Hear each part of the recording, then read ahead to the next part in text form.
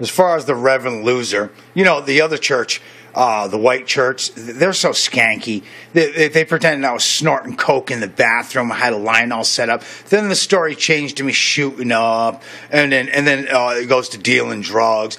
If they said that at first, I would have said, "Yeah, it was dealing drugs." How else am I supposed to cure diseases and viruses and cancers?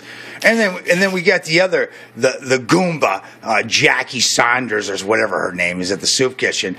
She ducked out. She kept lying to me, uh, you know, that uh, she's going to buy me the ink. It got too evident. I, I don't want ink that she buys unless she buys me a case of ink, you know, and then I'll do something with it. But no, it's evident that the reptilians or some kind of scumbag aliens, you know, are going to fo- they followed me over there as it is, and she ducked out. She, she she's not, you know, uh, oh God is power. Then she passes around the collection plate to pay for the electricity when she knows I have the power. She don't want nobody to say I have the power.